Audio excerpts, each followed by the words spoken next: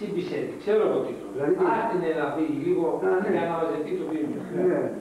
Δηλαδή, Στο σπίτι δεν μας έπαιξε. να να μας... Τα έρθει από εκεί. Τα έρθει από εκεί. Κάτσε να μαζευτούμε μας πειράξει. Εσύ κάνεις δουλειά σου, δεν μας πειράζει μας. Γιατί ο αυτός Ποιος ο Λιμπάς; Ναι, μην έπαιξε. δεν είχε. Δεν έχουμε και άλλα.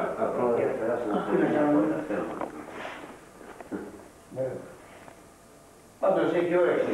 ε, Σε αυτά τα χρόνια. Είναι ο Κοντάρης. Θα έχει περάσει. Και αυτός, και αυτός δεν ακούει, για να σου κάνει άλλο στο σπίρο.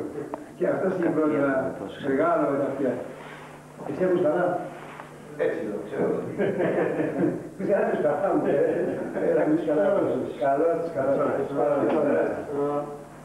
Καλό να μην ακούς πολύ.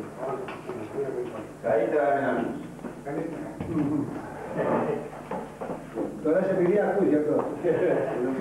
Έτσι για αυτό να ακούω να σου πούνε. Πήγε στη τηλεόραση της άλλης. Ναι, και τότε το βάζει τώρα με το κόκκι, ε. Δεκαετή ώρα. Παπαδάκι, συνόλογα και... Όταν πήγα να πάει το ερωτεύω στη ρούχη που περάσαμε για πατάρι, μας φέραμε την τροπή. Τώρα εσύ πας. Και ένας σε κάποιο ποδράκι που είπε στο για το βαγόνι. Τον ακούω κύριε, ποιος πάτησε αυτό, δεν μπορεί να ακούσει καθόλου. Καλώς. Καλώς τα παιδιά. Κάνω αυτό τα παράδειγμα, κύριε, έκανα δεκαριά κατοστάρικα τότε, δεκάρι. Αυτός είναι κάτω. Πάλι ευχαριστώ. Δεν τον ακούσε. Λέγεται ρε. Καλώς, ευχαριστώ. Κοίτα το, εκεί είσαι εδώ μπροστά, δεν είναι Έτσι εδώ είναι καλά μας.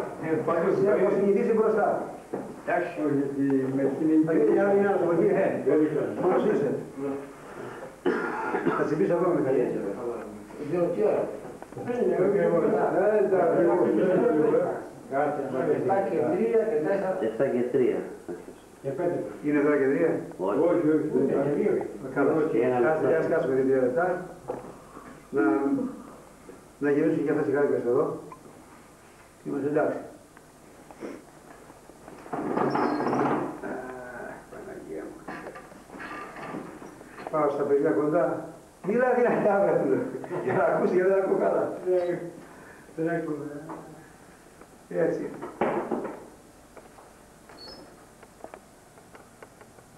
Αυτό φυσική φορά, όσο τον εναμένο άνθρωπος. Φυσική φορά βέβαια. Άκουγα τη γιαγιά μου που δεν άκουγε και λέω τι τη λέει αυτή μου, ε, τι λέει. Και άμα καμιά φορά, τι πολλές φορές καμιά φορά, ε, μου έλεγε να κάνω καμιά δουλειά και την πέρευα, αν δεν θα μεγαλώσεις να παντρευτείς, θα σου πω σε. Τέλος. Όταν δεν σε ζήσατε. Μπορεί να έχει Και σχέση έλεγε με άλλη. την ικανοτικότητα σε αυτό. Πώς δεν Έχει έχει. και η μάνα Ναι. τώρα να άκουγε. Όλα αρχαιονομικό της. Ναι, ναι. Να εσύ ακούς καλά γιατί το ακούγανε καλά οι δικοί σου.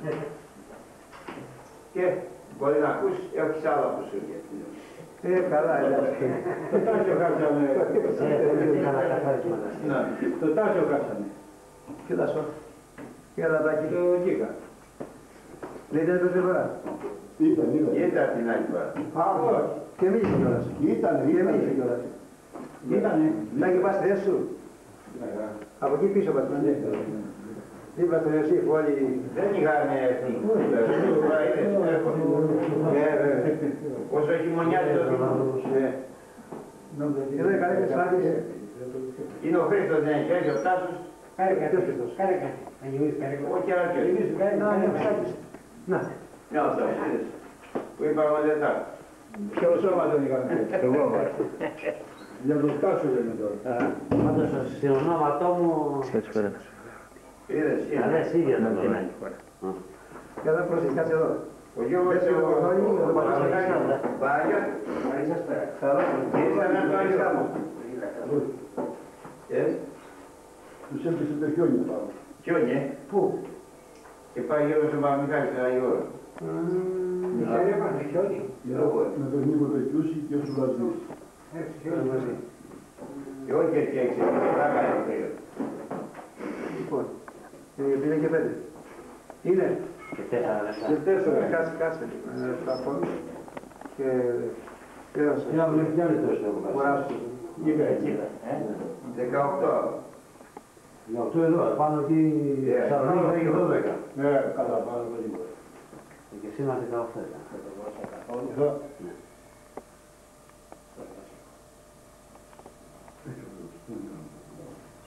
Έτσι, αλλά όσο πάμε.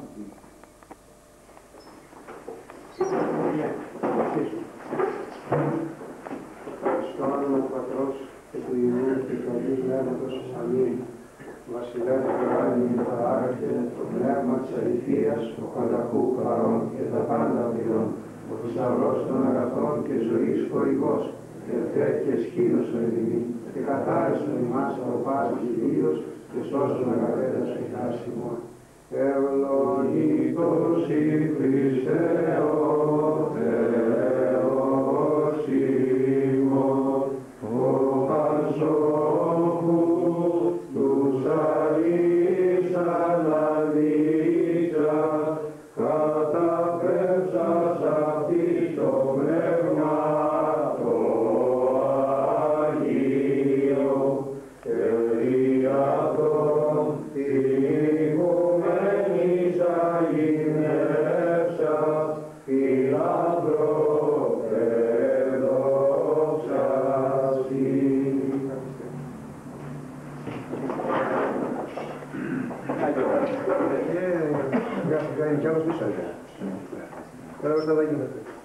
Γιατί δεν έχει κατά πίσω κάτω.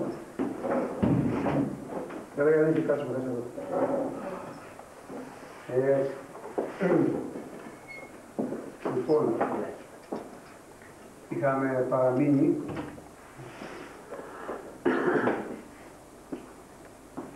Καλά ήταν ε, Γιώργο, ε, και- το Γιώργο ήταν. Έλα, κάτσε. Είχαμε σταματήσει στο 12ο στίχο μέσα από το βιβλίο των πράξεων των Αποστόλων που είδαμε τον Κύριο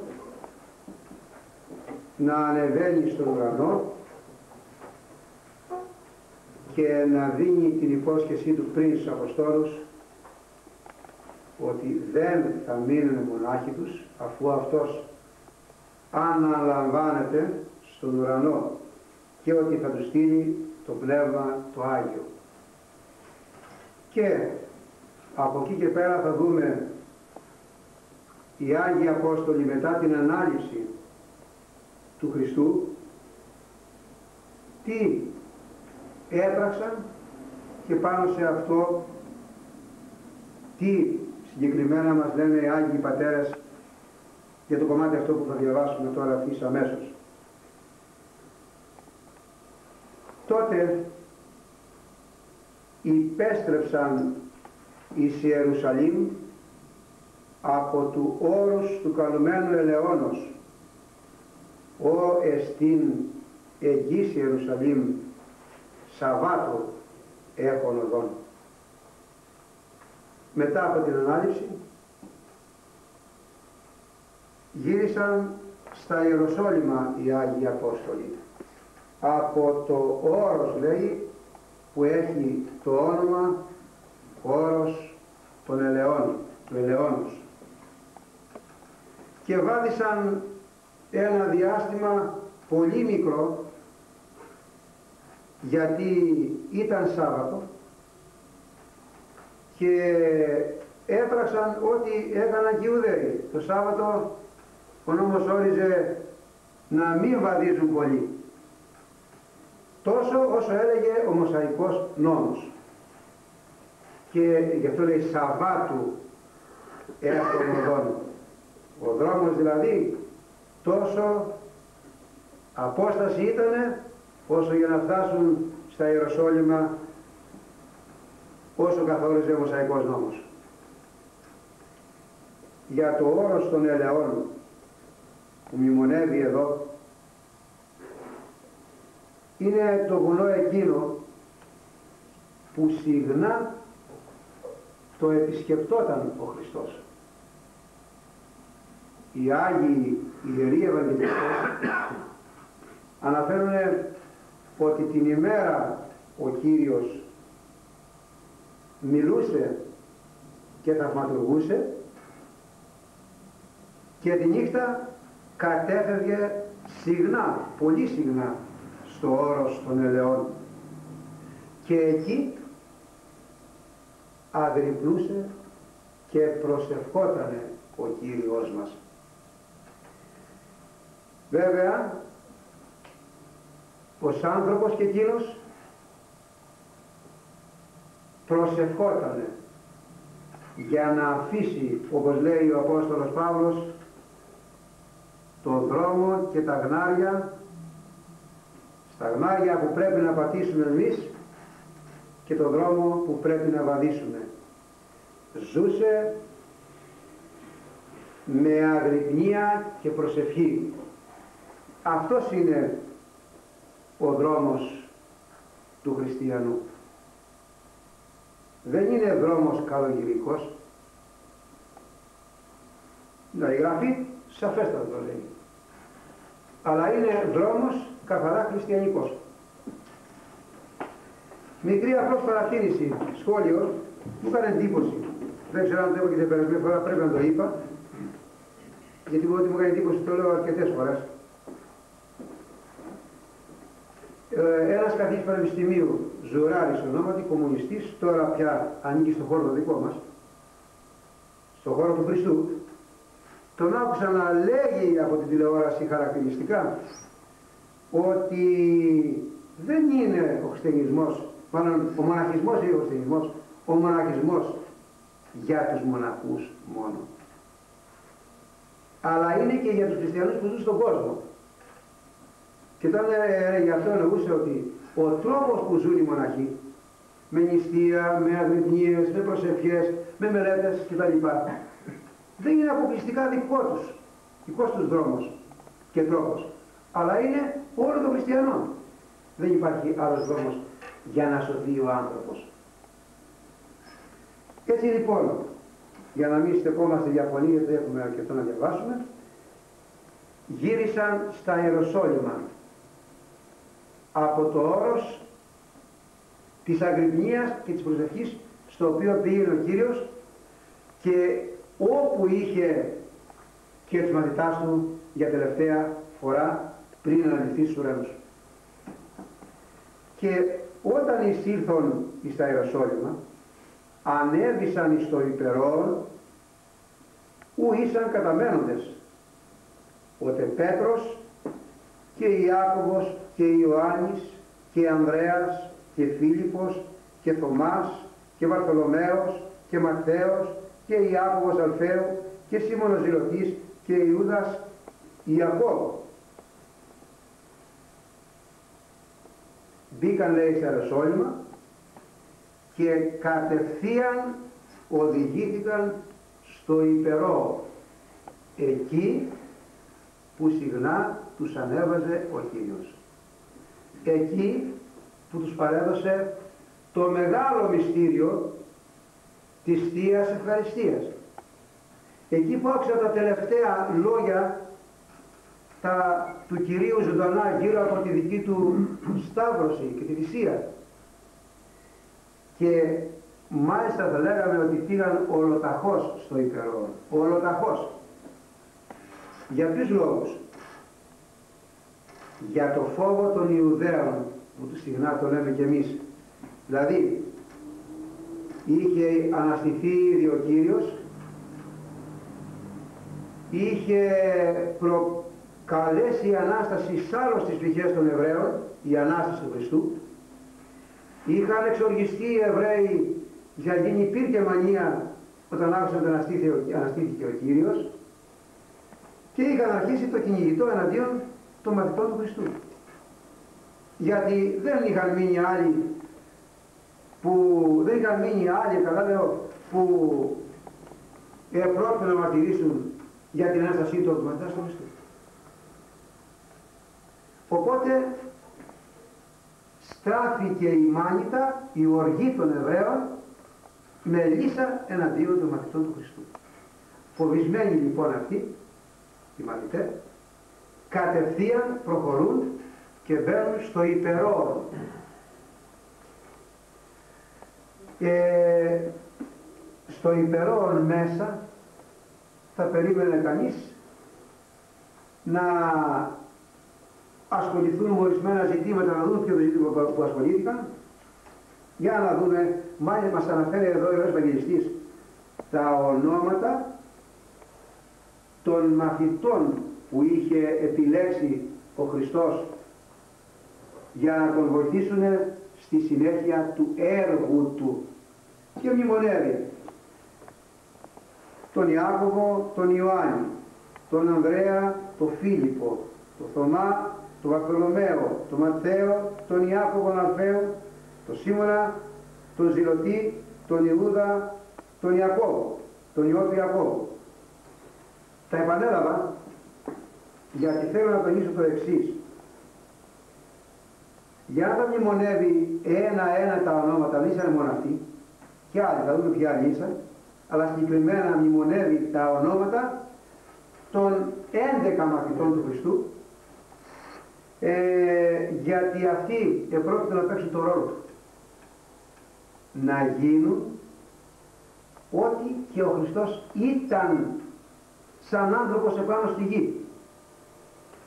Τι έκανε ο Χριστός; Ήτανε σωτήρας, εκείνος δηλαδή που έσωζε και σώζει βέβαια μέχρι τώρα τις ψυχές των ανθρώπων. Ε, από εδώ και στο εξής αυτοί οι 11 και οι 70 και οι 120 που θα δούμε στη συνέχεια ήσαν οι σώζοντες, οι σωτήρες του κόσμου. Μόνον τόσοι 120 τον αριθμό θα δούμε στη συνέχεια ήσαν. Αλλά δεν είναι μόνο αυτοί που δικαιούνται να είναι και να έχουν και το όνομα του σωτήρα, εκείνου που σώζει, πρέπει να το προσέξουμε το πράγμα, γιατί οι Απόστολοι σαν άνθρωποι κάποια στιγμή άφησαν και αυτόν τον κόσμο και έφυγαν. Και κάποιοι άλλοι πήραν τη θέση τους. Που ήσαν σώζοντες και αυτοί όπως οι Απόστολοι. Και μέχρι σήμερα δι, διαδοχικά γενναίες, γενεά η μία ακολουθεί την άλλη και μέσα από κάθε γενναία υπάρχουν οι σώζοντες. Και μέσα στην κοινωνία που ζούμε τέτοιο ρόλο έχουμε και εμείς οι χριστιανοί οι πιστοί στον 20ο αιώνα του εκείνου που σώζει τις ψυχές. Χρέος. Τους διάλεξε και τους είπε «Σεις θα είστε οι συνεχιστές μου» και αυτοί διάλεξαν συνέχεια άλλους. Κήρυξαν και το κήρυμα έγινε δεκτό, πιστευτό, βαπτίστηκαν οι άνθρωποι και ακολούθησαν το έργο των Αποστόλων που τα ακολουθούμε μέχρι και σήμερα εμείς. Είμαστε στο πόδι των Αγίων Αποστόλων. Είμαστε οι σώζοντες λοιπόν. Σήμερα πολύ εύκολα ακούμε διάφορα άλλα ονόματα να γίνονται και εύκολα να τα μνημονεύει ο κάθε άνθρωπος ηθοποιών, ποδοσφαιριστών, τραγουδιστών κλπ. Αλλά σαν χριστιανοί αγνοούμε τα ονόματα εκείνων που έστειλαν το σπόρο του Χριστού και έσωσαν τον κόσμο και σώζουν αγνοούμε και δεν τα γνωρίζουμε. Καλό είναι να θυμόμαστε τους Αγίους Αποστόλους και στις προσευχές μας να φωνάζουμε Άγιοι Απόστολε Πέτρε πρέσβευε υπέρ μου, Άγιε Ιωάννη πρέσβευε υπέρ μου ή κι όλους μαζί Άγιοι Απόστολοι Πέτρε, Ιωάννη, Ιάκωβε, Ιούδα του, Ιακώβου κλπ. Πρεσβεύσατε υπέρ ημών τα ονόματά τους. Γιατί αυτοί είναι πρεσβευτές μας τώρα στον ουρανό. Στη χώρα εκείνη, στη χώρα εκείνη που είναι ο Κύριος μας, είναι πρεσβευτές. Και ο πρεσβευτής είναι εκείνος που φέρνει σε σχέση τον μεν με τον δε. Ο Κύριος έτσι άλλωστε τους το έταξε. Σεις θα κατέχετε, τι είπε, σε 12 χρόνους επάνω, έδρα επίσημη. Το είπε ο Κύριος με τα χείλη του. Το είπε, δεν το είπε; Το είπε. Και επομένως είναι πρεσβευτές. Θέλουμε, δεν θέλουμε. Ας είναι οποιοδήποτε αυτοί που μπορούν να πούνε ότι δεν έχουν οι Άγιοι θέση στον ουρανό επάνω, αλλά είναι απλοί άνθρωποι και αυτοί σαν και εμάς. Απλοί ήσαν, αλλά επιτέλεσαν έργο που δεν το μπορεί να το φανταστεί η ανθρώπινη διάνοια. Και ούτε οι πάντες, όλοι αυτοί που μαζευτήκανε μέσα στο υπερό εκείνο, φοβισμένοι επαναλαμβάνω, δεν είχαν λάβει, ας το προσέξουμε αυτό, το Πνεύμα το Άγιο ακόμα. Τους το υποσχέθηκε ο Χριστός, θα το στείλει. Δεν τους, είχε, δεν τους είπε ότι θα έρθει την τάδε μέρα, θα άφησε άγνωστο. Και εκείνος έφυγε και αυτοί τώρα δεν έχουν την παρουσία του μπροστά. Όπως την είχαν ζωντανή επί της γης, με το ανθρώπινο σώμα θα λέγαμε, και επομένως είναι μονάχοι. Αισθάνονται ένα τεράστιο κενό από την απουσία του Χριστού, ένιωθαν ότι πατούσαν πάνω του γερά και στηριζόντουσαν και τώρα δεν, δεν έχουν αυτή, αυτό το στήριγμα. Για να δούμε τι κάνανε μέσα στο ιερό. Ήσαν πάντες προσκαρτερούντες ομοθυμαδών τη προσευχή και τη δεήση στην γυναιξή και Μαρία τη μητρή του Ιησού στις αδελφής αυτούς.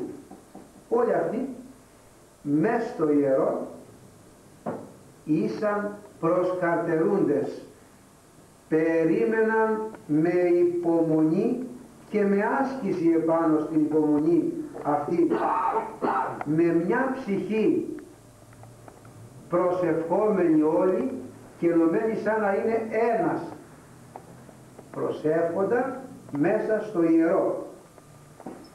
Ε, δεν υπάρχει και άλλο έργο που να μπορεί να δυναμώνει τον άνθρωπο επάνω στη γη και να επιτελεί το έργο του. Όσοι έχουμε δοκιμάσει το έργο αυτό και το δοκιμάζουμε με λαχτάρα στην ψυχή, το έργο προσευχής, χωρίς να αισθανόμαστε ευνηλία την ώρα που ευχόμαστε, αλλά να του φωνάζουμε. Κύριε μας ακούς, ε, καταλαβαίνουμε πια τι σημαίνει το έργο της προσευχής στην καθημερινή μας ζωή. Και εδώ λοιπόν λέγει ομοθυμαδών. Το ομοθυμαδών σημαίνει όλοι όσοι ήσαν εκεί μέσα οι κατολίκοι στον αριθμό με ένα θυμό, θυμό σημαίνει ψυχή, με μια ψυχή. Το ίδιο φρόνημα, την ίδια σκέψη, την ίδια λαχτάρα της προσευχής για να τους στηρίζει ο Χριστός επειδή τους περίμενε να σηκώσουν βαρύ σταυρό. Βαρύ σταυρό. Και μάλιστα προσθέτει εδώ όχι μόνο την προσευχή αλλά και τη δεήση. Η προσευχή είναι έργο ουράνιο και η δέηση είναι πάνω από προσευχή. Σημαίνει παρακαλετό μεγάλο. Και δεν είναι απλώς, απλώς μόνο παρακαλετό, αλλά ολονύχτια προσευχή και δέηση ολονύχτια. Και εν τις ημέρες ταύτες, τις ημέρες εκείνες που ήσαν στο ιερό επάνω, στο υπερό, είπα στο ιερό, Αναστάς ο Πέτρος εν μέσω των μαθητών είπε, σηκώθηκε ο Πέτρος μπροστά στους 120 που ήσαν μέσα στο υπερό, του τονίζω και πάλι, και είπε, σηκώθηκε ο Πέτρος. Προηγουμένως είπα ήταν και οι 12 και οι 11 εκλεγμένοι μαθητοί του Χριστού. Και άλλοι περίπου 110 μέσα στο υπερό. Και πήρε το λόγο πρώτος ο Πέτρος. Και συμπληρώνει εδώ, είναι όχλος ονομάτων επί το αυτό 120. Περίπου λέει, ακριβώς 120 περίπου, είναι σαν αυτοί που μέσα. Και τι είπε ο Πέτρος. Άνδρες αδελφοί, έδι πληρωθήνε τη γραφήν ταύτην ειν προείπε το Πνεύμα το Άγιον διαστόματος Δαβίδ περί Ιούδα του γενομένου οδηγού εις συλλαβούσιν τον Ιησού. Αφού επρόκειτο για χρόνο πολύ κοντινό με την Ανάσταση του Χριστού, είχε προηγηθεί η προδοσία του Ιούδα, είχαν γίνει όλα αυτά και λέγει έπρεπε να πληρωθούν οι γραφές. Μέσα στις γραφές υπάρχει καθαρά και εξάστερο, δούμε και εδώ πέρα, καθαρά και εξάστερο, ότι αυτός που επρόκειτο να οδηγήσει, λέει ο Απόστολος Πέτρος, αν το προσέξετε, τους Ιουδαίους για να συλλάβουν τον Χριστό, έπρεπε να βρεθεί. Γιατί το λένε λέει οι γραφές. Μην κάνουμε εδώ κανένα λογισμό και πούμε αφού το λέγανε οι γραφές έπρεπε να βρεθεί ο Ιούδας για να προδώσει τον Χριστό οπωσδήποτε. Γιατί έτσι είναι σαν να λέμε το Θεός ζητούσε κάποιο κακοποιό για να προδώσει το γιο του να σταυρωθεί. Άρα πρέπει να του δώσει και παράσημα. Δεν είναι έτσι. Μάλιστα ο Κύριος για να καταλάβουμε τι ακριβώς έγινε ο Κύριος τον κάλεσε κοντά του γιατί ήξερε ότι θα εξελιχθεί έτσι αλλά μήπως με τη συμπεριφορά του Χριστού και με την τιμή που του κάνει να δώσει και το ταμείο κιόλας ο Κύριος του αλλάξει τη σκέψη, τον ηγήσει εσωτερικά και πει Α, εγώ από την από κόσμο μέσα μου με τιμά πολύ ο δάσκαλος έχει άλλα τόσα πρόσωπα και δεν τιμάει τα πρόσωπα αυτά, τιμάει εμένα ναι. Του αλλάξει τα μυαλά με τον τρόπο ο Χριστός που του συμπεριφοράταν. Γι' αυτό τον κάλεσε. Και έχω πει και άλλη φορά ότι την ώρα της προδοσίας δεν του είπε ούτε καν προδότη. Αλλά του είπε φίλε έχεις έρθει για το λόγο αυτό που δείχνεις τώρα στην πράξη. Τον φιλούσε και τον πρόδιδε με το φίλημα. Και του λέει, γι' αυτό ήρθες του λέει φίλε μου. Δεν του είπε ούτε προδότη ούτε τίποτα. Και εδώ βλέπουμε το ίδιο ακριβώς παράδειγμα το ίδιο ακριβώς παράδειγμα και από τον Πέτρο. Τι παράδειγμα; Για κοιτάξτε, λέγει άνδρες αδελφοί μου έπρεπε να γίνει αυτό που το Πνεύμα το Άγιο προφητεύει στις γραφές να βρεθεί εκείνος που θα οδηγούσε τους Ιουδαίους για να συλλάβουν τον Χριστό. Εκείνος που θα οδηγούσε ακούν πουθενά να λέει προδότης, να λέει ο τάδε και ο τάδε και ο τάδε. Δεν μνημονεύει το όνομα του Ιούδα με τα πιο άσχημα και βρωμερά χαρακτηριστικά όπως τα έκανε κάποιος από εμάς, όταν θα έπρεπε κάποιον να είναι κλιματίας. Αλλά με τον τρόπο τον ωραιότερο, τον ωραιότατο, το Πνεύμα το Άγιο λέγει ότι έπρεπε να γίνει, να βρεθεί το πρόσωπο εκείνο. Και ακόμα ότι ο Ιούδας είναι κατηρυθμημένος συνημήν και έλαχε τον πλήρων της διακονίας ταύτης. Ήταν και εκείνος μέσα στον αριθμό των 12 μαζί με εμάς. Κατηρυθμημένος. Σημαίνει αριθμημένος από το 1 μέχρι το 12. Ένας σαν εμάς ο Αποστόλος. Άλλος σαν εμάς. Σημαίνει ότι δεν το έκανε ο Χριστός ξεχωριστή μία να, να το έβλεπε με, με μάτι διαφορετικό από εκείνον που έβλεπε τους Αποστόλους. Ούτε και οι Απόστολοι τον έβλεπαν, τον με εκείνο το μάτι. Και εδώ αυτό βλέπουμε. Ήταν κατηριδημημένος, μετρημένος μες στους 12 για την ίδια, για την ίδια τιμή να είναι και εκείνος Απόστολος όπως και εμείς. Έλαχε λέει τον πλήρω, έλαχε τον πλήρω. Δηλαδή, πώς λέμε, πήρα κλήρο από τον πατέρα μου, μου άφησε αυτό και αυτό και αυτό και ο Ιούδας κλήρο πήρε. Όπως πήραν και οι υπόλοιποι 11. Ίδιο ακριβώς κλήρο, ίδια τιμή, ίδια δόξα γιατί να πούμε και λίγο παραπάνω που δώσε το, το, το, το, το ταμείο των Αγίων Αποστόλων.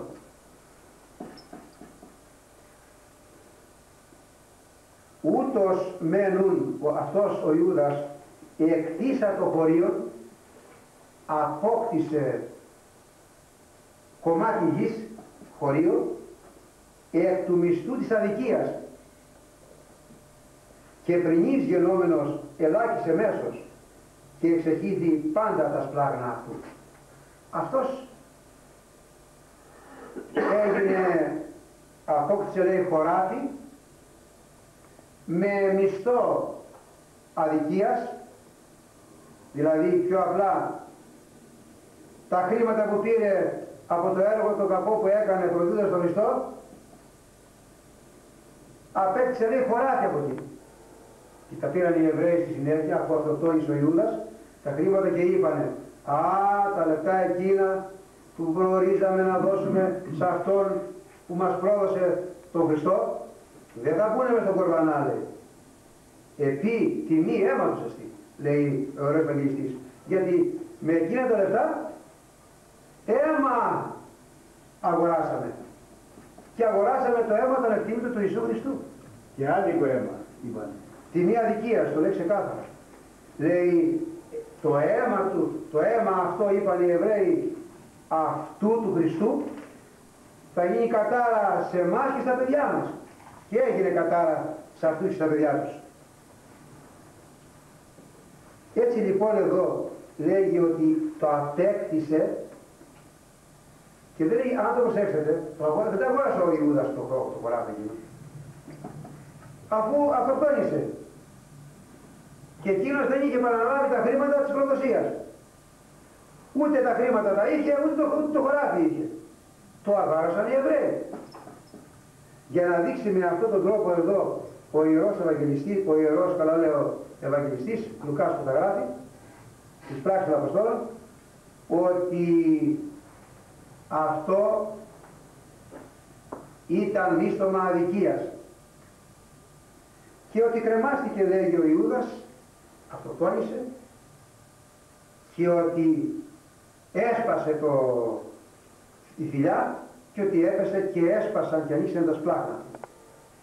Και βγήκαν τα εντόστια έξω όπως τα λέγαμε και πολύ χαρακτηριστικά και πολύ χαρακτηριστικά αναφέρεται ότι και σχολιάζεται ότι τα σπλάγνα τους χυθήκανε επειδή δεν είχες σπλάγνα ο ίδιος να λυπάται. Και ότι πρόδωσε εκείνο που είχες τα σπλάγνα εκείνα που αγκάλιζε τον ανθρωπότητα ολόκληρο τον Χριστό αυτόν που σπλαγνίστηκε τον κόσμο αυτόν άσπλαγνα τον πρόδωσε. Γι' αυτό και άνοιξαν άνοιξε η κοιλιά του, έσκασε και βγήκα τα εντόστια έξω ήταν άσπλαγνος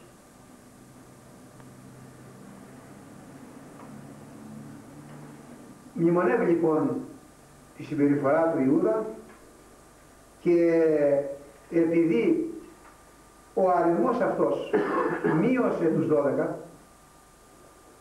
τον, και τους έκανε 11 έπρεπε να συμπληρωθεί ο 12ος να συμπληρωθεί ο 12ος και αυτό προφητεύεται ότι ο Ιούδας έπρεπε να συμπληρωθεί. Η θέση του Ιούδα έπρεπε να συμπληρωθεί. Προφητεύεται από προφητεία παλαιότερη. 1080 χρόνια πριν γραμμένη μέσα στο ψαλτήρι του Δαβίδ. Η προφητεία πριν γεννηθεί ο Χριστός 1080 χρόνια. Τι λέγει; Γέγραφε γάρ εν τη βίβλο των ψαλμών. Γεννηθεί το η έπαυλης αυτού έρημος και την επισκοπή αυτού λάβει έτερος. Και μη έστω κατοικών είναι αυτή. Πιο απλά σημαίνει ότι η έπαυλης έπαυλης είναι η θέση που κατήχε ή το χωρίο καλύτερα, η τοποθεσία που υπήρχε αγορασμένη θα είναι έρημος και τη θέση που κατήγησε σαν Απόστολος, την μνημονεύει σαν επισκοπή εδώ, θα την πάρει άλλος. Αυτό το κομμάτι το ανέφερε μέσα στην Αγία Συγκέντρωση των Αποστόλων στο υπερό που μπήκαν οι Απόστολοι. Ο Άγιος Απόστολος Πέτρος. Λέει, το ξαναδιαβάζω, γεννηθεί το η έπαυλης αυτού έρημος. Το σπίτι του θα μείνει έρημο, θα το πούμε πιο απλά. Και δεν θα υπάρχει εκείνος που θα κατοικήσει σε αυτό. Και την επισκοπή του, τη θέση του, την αποστολική, θα τη λάβει έτερος, θα την πάρει άλλος. Έπρεπε λοιπόν σύμφωνα με τη γραφή να συμπληρωθεί ο δωδέκατος. Αυτά λέγει ο Απόστολος Παύλος. Θα συνεχίσουμε. Ο Απόστολος Πέτρος, συγγνώμη, που πήρε το λόγο πρώτος μέσα σε αυτή την Άγια συνεδρίαση, τον Άγιο χώρο της προσευχής από ό,τι είδαμε, της Αγρυπνίας. Θα ήθελα να κάνω ένα σχόλιο, να αναφέρω ότι ήδη ο αδερφότερος Ιάκωβος, ο Άγιος Απόστολος που γιορτάζει σήμερα, σαν ο Άγιος, ο Άγιος Ιάκωβος, γιορτάζει σήμερα. Σήμερα, σήμερα. Ξέρουμε ότι ήδη είχε εκλεχθεί επίσκοπος στον, στα Ιεροσόλυμα. Από τον Κύριο τον ίδιο. Τον είχε διαλέξει και τον είχε ορίσει να είναι δεσπότης, θα λέγαμε στη γλώσσα μας σήμερα. Επίσκοπος μέσα στα Ιεροσόλυμα. Είχε αξίωμα ποιος, ο αδερφός του Κυρίου ο Ιάκωβος. Αυτό είναι εδώ στο μυαλό μας. Μέσα στη συγκέντρωση αυτή έπαιρνε μέρος σαν επίσκοπος πια ο Άγιος Απόστολος Ιάκωβος. Επίσης, και οι άλλοι Απόστολοι και αυτοί είχαν κάποια θέση επίσημη μέσα στη σύναξη. Και το λόγο πήρε ο Απόστολος Πέτρος όμως. Δεν σηκώθηκε να πει ο Άγιος Ιάκωβος σαν επίσκοπος που είχε αναλάβει την ευθύνη στα Ιεροσόλυμα στάσου, εγώ είμαι ο πρώτος εδώ μέσα στο Ιεροσόλυμα. Μου παίρνεις τη θέση μου. Εγώ πρέπει να λάβω τον λόγο. Γιατί μπαίνεις στη μέση και πριν από μένα ναι, και πάνω από μένα ναι, και μιλάς. Κάτι τέτοιο δεν βλέπουμε. Γιατί αυτή τα μνημονεύει όλα. Θα δούμε αλλού παρακάτω πράγματα για δυναμίες των Αποστόλων να γράφονται από μέσα. Εδώ μιλάει ο Απόστολος Πέτρος και ο πρώτος γίνεται τελευταίος. Ο Απόστολος Ιάκωβος. Και οι άλλοι Απόστολοι ταπεινώνονται. Και οι 120 ταπεινώνονται.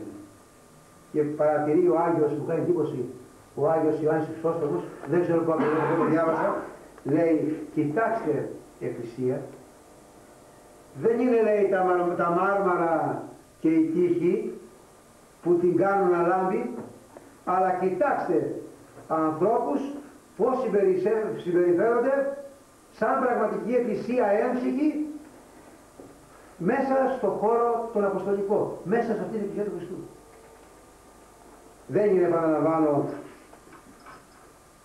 απαραίτητη εκκλησία. Και μάλιστα και τιμή χρειάζεται εκκλησία και αγάπη στην εκκλησία και το οίκο σου πρέπει αγίασμα. Και Κύριε, λέει κάπου ο Δαβίδ, μέσα στο, μέσα στο σατήρι, αγάπησα ευπρέπειαν οίκου σου. Δηλαδή, αγαπάω τον ναό σου και μου αρέσει να το περιπιέμαι. Ευπρέ, το περιπιέμαι, αυτό είναι ευπρέπεια. Να το στολίζω, να το φτιάχνω και λοιπά, μου αρέσει γιατί είναι ναός. Και, να, και να, θέλω να μπαίνω μέσα και το βλέπω όμορφο. Δεν τα καταργεί αυτά ο Χριστός. Αλλά ο Χρυσόστομος όταν λέει ότι κοίταξε εκκλησία δεν είναι αυτό που στεκόμαστε λέει, και, και θα βάλουμε τα ντουβάρια. Και αυτά χρειάζονται, αλλά πάνω από όλα αυτά να κοίταξε το παράδειγμα των Αποστόλων. Δεν υπάρχει ούτε ο πρώτος λέει είμαι πρώτος, ούτε οι άλλοι λένε γιατί μπήκε στη μέση. Αλλά άφησαν τον Πέτρο να ακουστεί. Σε αυτόν άλλωστε έχει πει ο Χριστός. Σας θυμίζω, τους είχε πει ξεκάθαρα. Πέτρε, εάν με αγαπάς, πρόσεξε τα ρητανιά μου, τρεις φορές. Πέτρε, εάν με αγαπάς, φύλαξέ μου τα πρόβατα. Πέτρε, Χριστέ με, αν με αγαπάς, φύλαξε μου τα πρόβατα. Και βέβαια έπρεπε τώρα ο Πέτρος, αφού αγαπούσε τον Χριστό, να φροντίσει και τα πρόβατα. Και έπειτα και ένα σχόλιο πάνω σε αυτό. Δεν επρόκειτο να καλυφθεί μία κοινωνική θέση, όπως λέμε σήμερα, και να ζηλεύουν οι άλλοι γύρω η θέση που θα έπαιρνε ε, τη θέση που θα έπαιρνε εκείνος στο πόδι του Ιούδα που είχε ήδη σκοτωθεί του 12ου είχε συνέπειες βαρύτατες είχε ευθύνες θανάτου είναι δηλαδή κίνδυνος θάνατος όπως φέρει τη θέση αυτή γιατί έτσι και έγινε. Όλοι οι Απόστολοι ακολούθησαν το έργο του Χριστού και όλοι έπεσαν και έδωσαν το αίμα τους. Μηδενός εξαιρουμένου ήταν θέση υπεύθυνη που θα σήκωνε σταυρό σταυρό θανάτου όπως ο Χριστός. Και δεν διαμαρτυρήθηκε εκείνος που εκλέχθηκε να πει γιατί διαλέγεται εμένα; Ήδη ξέγραφαν τον εαυτό τους εκείνοι που αναλάβαν το έργο και έλεγαν Χριστέ μου με κάλεσες και αφού με κάλεσες εγώ θα κάνω το έργο σου η υπακοή σαν εκείνη που έδειξε ο Χριστός. Είπε, πατέρα μου, εγώ ήρθα στη γη να κάνω το θέλημά σου, θέλημα μέχρι θανάτου. Και μάλιστα στα βρισκού θανάτου. Αυτόν πρόκειτο να διαλέξουμε. Τον δωδέκατο που θα, θα εκτελούσε έργο αποστολικό. Για να δούμε το έργο το μπορεί και το ξέρετε πώς το επιτέλεσαν το έργο της εκλογής του 12ου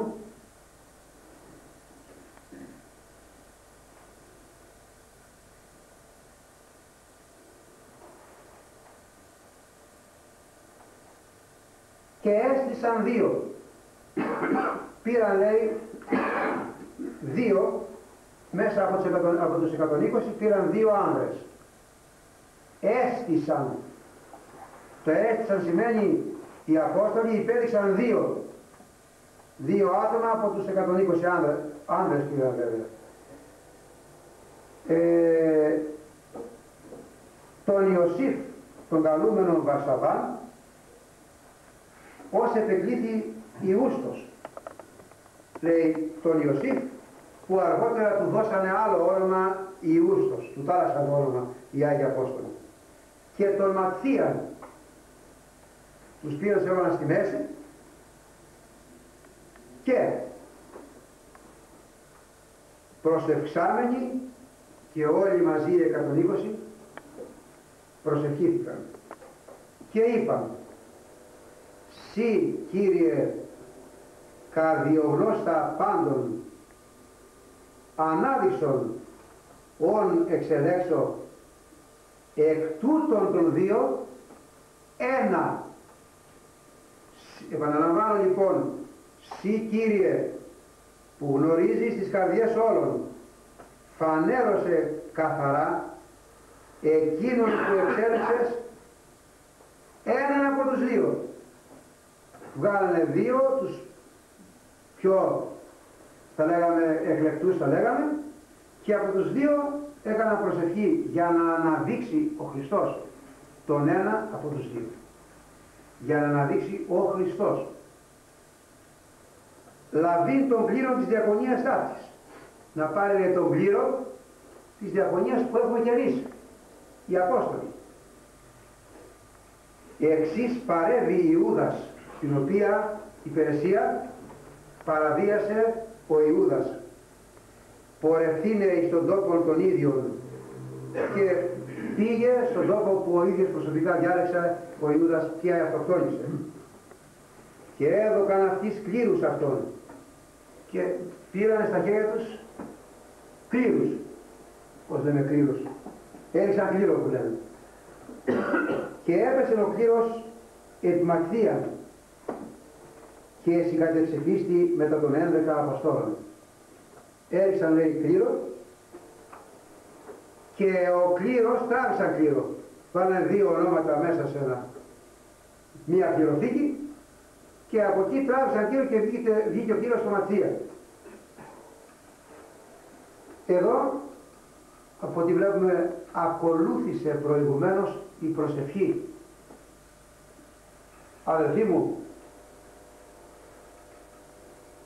η έκλογη ουσιαστικά δεν έγινε από τους 120, ουσιαστικά δεν έγινε από τους 120. Αλλά έγινε από αυτόν, από αυτόν που ήταν παρόν μέσα και δεν ήταν ορατά παρόν βέβαια. Γιατί ποτέ δεν έλειψε ο Χριστός. Και ποτέ δεν λείπει. Και από εδώ δεν λείπει. Είναι ξεκάθαρος ο λόγος του. Ιδού, εγώ με θυμών ημί. Μαζί σας είμαι. Πάσα στα σημαία της ζωής. Όλες τις ημέρες της ζωής σας. Ο Απόστολος Πέτρος και όλοι οι Απόστολοι είχαν ξεκάθαρη συνείδηση και πιστεύω ότι την εκλογή θα την έκανε σίγουρα ο Χριστός. Και την έκανε ο Χριστός. Γιατί τους ζήτησαν στην προσευχή, ποιος ξέρει πόσα δάκρυα θα έξαν και με πόση δέηση, δύναμη ψυχής θα έβγαινε αυτή η δέηση από την ψυχή; Αυτή ακριβώς. Συ Κύριε καρδιογνώσα πάντων ανάδειξον όν εξελέξω εκ των δύο τούτων ένα. Συ Κύριε που γνωρίζεις καρδιές των ανθρώπων από τους δύο δείξε εκείνον που εσύ ξέρεις ποιος πρέπει να πάρει τη θέση του Ιούδα. Αδελφοί μου, το έργο του Αποστόλου ήταν έργο πρόνοιας και έργο προστασίας και σωτηρίας ψυχών. Έπρεπε αυτός που θα βγει και θα πάρει τη θέση του Ιούδα να μην διαφέρει καθόλου από τους 11 συμπεριφορά. Έπρεπε να επαναλαμβάνει εκείνα που ο Χριστός έδειξε Αποστόλους. Και σε αυτόν θα κρέμονταν οι ψυχές που έπρεπε να σωθούν. Αυτόν θα τον έβλεπα σαν φως πάνω στη γη. Όλοι εκείνοι που θα, που θα εσώζονταν και που σώζονται μέχρι σήμερα. Και διαβάζοντας το σπίτι του τώρα καταλαβαίνω πρόκειται για ένα κατεξοχήν εκλεκτό πρόσωπο που τον διάλεξαν μετά από λίγη προσευχή και μετά από κλήρο. Απροσωπόλητα εντελώς χωρίς να υπάρχει τον δικό μου και τον δικό σου και τον άλλον και τον παράλληλο δίπλα. Δηλαδή να κάνουμε ένα, ε, ένα, ε, απλώς ένα σχόλιο χωρίς να προωθούμε παραπέρα. Αν βλέπαμε μια όμοια εκκλησία σήμερα, δεν θα είχε παρά το εξής. Γίνονται εκλογές για να βγει ένας αρχιεπίσκοπος, ένας επίσκοπος. Θα πέρανε τα, τους πλοίους, πόσοι είναι οι υποψήφοι γραμμένοι, βάζανε μέσα, θα κάνανε μια αγρυπνία όλη νύχτα και θα κουνάγανε τους κύριους και θα πέρανε και θα λέει κύριες εσύ βγάζεις αυτό που, που πρέπει να βγάλεις γιατί θα αναλάβει να σώσει ψυχές. Αυτό είναι το έργο.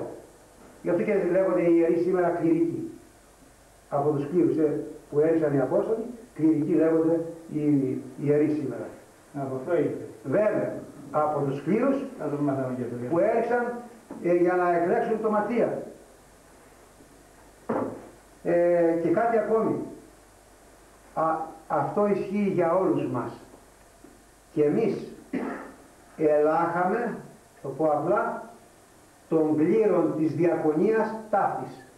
Δηλαδή μέσα στον αριθμό των Αγίων Αποστόλων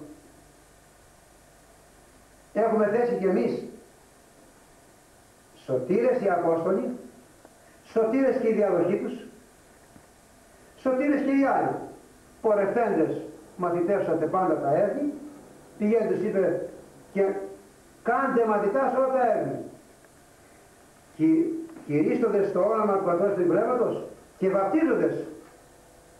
Και συνέχεια λέει, εκείνος που πιστεύει και βαπτίζεται, σώζεται. Εκείνος που πιστεύει και βαπτίζεται σώζεται. Είμαστε βαπτισμένοι, είμαστε λυτρωμένοι, είμαστε σωσμένοι. μας βάψαν οι διάδοχοι των Αγίων Αποστόλων. Αυτή είναι η σειρά και τάξη της Εκκλησίας μας. Αυτή, αυτό διδάσκει μέσα το κομμάτι που διαβάσαμε. Και αφού λοιπόν διαδεχτήκαμε, διαδεχτήκαμε σαν σωτήρες, μικροί σωτήρες επί της γης, τους Αγίους Αποστόλους, χρέος έχουμε όχι μόνο να σωθούμε, αλλά και να σώσουμε. Χρέος έχουμε όχι μόνο να σωθούμε, αλλά και να σώσουμε. Γι' αυτό έχουμε και ευθύνη απέναντι στην κληρονομιά που έχουμε. Λέει, μου άφησε αυτό το Άγιο Κοιμήλιο.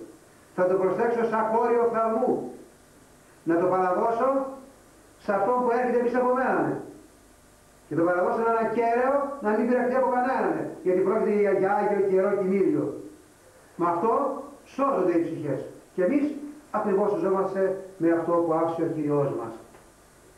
Βαπτιστήκαμε, έχουμε το πνεύμα Άγιο και σύμφωνα με αυτό πρέπει και εμείς να πορευτούμε. Θα ήθελα, τελείωσα για να δώσω το λόγο και αλλού, ε, να συνοψίσω ότι οι Απόστολοι είχαν κάποιο χρέος απέναντι του Κυρίου και ξέρουμε ποιο είναι το χρέος. Να σώσουν. Οι Απόστολοι εξεπλήρωναν με πολύ μεγάλη σπουδή και φροντίδα και σοβαρότητα το μοναδικά σοβαρό έργο πάνω στη γη, σωτηρίας των ψυχών και ακολουθούσαν ακριβώς τα προστάγματα του Χριστού και δεν έκαναν έργο που αφορά τη σωτηρία του ανθρώπου που να μην προηγείται προηγουμένως Άγια και Ιερή Προσευχή. Και εμείς εδώ που μαζευόμαστε, μαζευόμαστε για να φτιάξουμε έναν, έναν κόσμο Άγιο, έναν κόσμο ωραίο. Ας είναι ο κόσμος μέσα στη χρονιά. Ας περνάει το λογισμό μας ότι είμαστε άνθρωποι με αδυναμίες. Έτσι ο Χριστός θέλει. Και εμείς μέσα από τις αδυναμίες μας να δοκιμαζόμαστε. Και μέσα από αυτή τη δοκιμασία να βρίσκουμε τη σωτηρία μας. Δεν γίνεται αλλιώς. Η, η κάθε αδυναμία που έχουμε είναι και μια δοκιμασία για μας. Μας ταλαιπωρεί στην ουσία. Αρκεί εμείς να καταλαβαίνουμε να του λέμε Κύριε, εσύ που γνωρίζεις τις καρδιές μας, ξέρεις ότι εμείς πέφτουμε, αλλά ζητάμε να σηκωθούμε. Σήκωσέ μας και δώσε μας και το Πνεύμα του Άγιο και να πορευτούμε στη ζωή μας. Έτσι, αυτός είναι ο δρόμος που πρέπει να βαδίσουμε. Μιχαλάκη, έχεις κάτι; Ας πω λίγο κάτι. Ε, ο κλήρος, επειδή είπες για τον κλήρο θέλω να πω δύο, δύο λόγια. Ε, ο κλήρος τότε τους υποχρέωνε ένας να διαλεχθεί για να πάρει τη θέση των 12. Τους υποχρέωνε. Γιατί κανείς δεν ήθελε, διότι γνωρίζανε το κόστος και το κόψιμο και πώς τους κυνηγάγανε τους Αποστόλους. Λοιπόν και αναγκαστήκανε να βάλουν κλήρο για να βγει ένας και, ε, και να είναι πλέον επίσημος. Ο, ε, ο Κύριος όμως μας έχει αφήσει εμάς όλους στην Εκκλησία Του που είμαστε μέλη της Εκκλησίας ένα φοβερότερο κλήρο. Ποιο; Όστις θέλει ο πίσω μου έρθει. Και φωνάζουμε τη λέξη χριστιανός ότι ακολουθούμε τον Κύριο, είμαστε, τον αγκαλιάσαμε και είμαστε ένα με τον Κύριο. Από εκεί και πέρα πρέπει να γνωρίζουμε το κόστος και τον αγώνα που πρέπει να κάνουμε για να ανέβει και να ανέρθει το μικρό τίμιο και να φέρει μία καλή κατάσταση στην κοινωνία. Γιατί το είπα αυτό. Ήμουνα σπίτι και έβλεπα λίγο τηλεόραση με το παπαδάκι. Και κάποιος είχαν το θέμα τα ναρκωτικά. Και υπόθηκαν πάρα πολλά πράγματα από όλους τους ανθρώπους. Ένας άνθρωπος, αδερφός εν Χριστώ, λέει και εγώ ήμουν χρήστης στο άλλο και από την ημέρα που εγνώρισα τον Ιησού Χριστό και τον έβαλα μέσα μου, είχε τη δύναμη λέει αδέρφια να με απαλλάξει από αυτό το κακό που να με μαστίζει όλη την ανθρωπότητα. Αποτέλεσμα ήταν να μην, και να μην του δοθεί ο λόγος πάλι, και να τον πάρουν άλλοι και να εξαφανιστεί. Τι σημαίνει, α- και τι σημαίνει αυτό, Συμ- και σημαίνει ότι πολεμούμαστε. Γι' αυτό ο κλήρος είναι μέσα μας και έχουμε δεχτεί το κλήρο με τη δική μας, με, ε, με το δικό μας ναι Κύριε, με το βάθμα όπως είπατε κύριε Κώστα, ότι πάσα τα έθνη μαθητεύσατε και βαπτίζετε αυτούς της το όνομα του Πατρός και του Ιού και του Αγίου Πνεύματος. Έχουμε βαπτιστεί και φωνάζουμε είμαστε χριστιανοί. Εύχομαι να είμαστε σωστοί γιατί αυτές τις μέρες ζούμε σε μία ακαταστασία. Τίποτα άλλο. Άλλος άνθρωπος κάτι που να θέλει να πει πάνω σε αυτά, κάτι. Ε, αφού δεν έχουμε να προσθέσουμε, να μην σας κουράζω άλλο, φτάνουν 45 λεπτά περίπου στο ίδιο. Να βάζουμε Ήταν πολύ ωραίο. στην ευχή του Θεού. Πολύ να ωραίο. Ε, ωραία φαίνεται ήταν η πρόθεσή σας που με φιλοξενεί και η προσευχή που ίσως κάνετε εσωτερικά για να φωτίζει ο Θεός. Γιατί κάπου χρέος έχουμε όλοι να προσευχόμαστε όταν μιλάει κάποιος. Η δική σας διάθεσης. Όλων η διάθεση ήταν καλή. Λόγος Και είναι άρχισε- πάντα ωραίος. Ναι, Πάντα ωραίος. Ε, έχουμε λοιπόν και την άλλη φορά. Κα- Είπε ο Σιφ, δεν ήρθανε καθόλου σήμερα. Να μου ήρθε. Είπε, αλλά γέμισε ο οίκος, γεμίστηκε ο οίκος. Έτσι, την προσοχή μας και να πάμε σιγά. Δόξα τω Άγιος Θεός. Άγιος ο Θεός, Πάτερ ημών και προστασία των χριστιανών. Άγιος ο Θεός, Άγιος ο Κύριος, Άγιος ο Θάνατος, ελέγχεσαι μας. Άγιος ο Θεός, Άγιος ο Κύριος, Άγιος ο Θάνατος, ελέγχεσαι μας. Άγιος ο Θεός, Άγιος ο Κύριος, Άγιος ο Θάνατος, ελέγχεσαι μας. Πάτερ ημών που εγγύς σου εμείς, αγιαστήρι το όνομά σου, περτέρου η βασιλεία σου, γεννηθείτε το μεγά σου, όσο και τον όρμο και της γης. Τον άλλο των ημών περιπλούσιο, δώσε ημί σήμερα, κάθε σημείο από πνεύματα ημών, όσο και εμείς αδίανα σε ελεύθερος ημών. Και μη σε ενέργειες ημάς χειρασμό, αλλά ρίξε ημάς από το πολύ.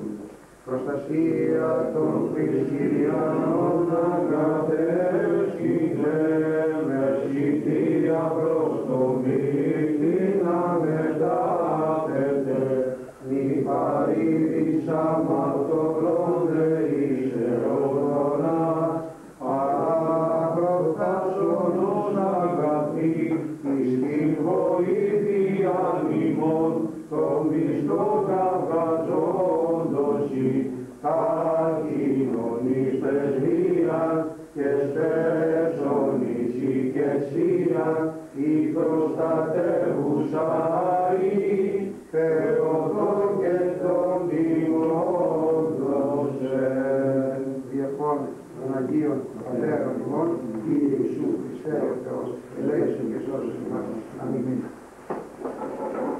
Πάμε στο καλό, ευχαριστώ πάρα πολύ. Να είστε καλά. Καληνύχτα. Στο καλό. Σε καλά.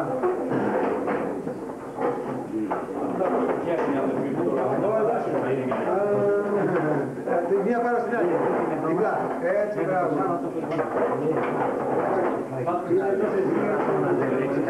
τα γραμμένη να την προβάλλω.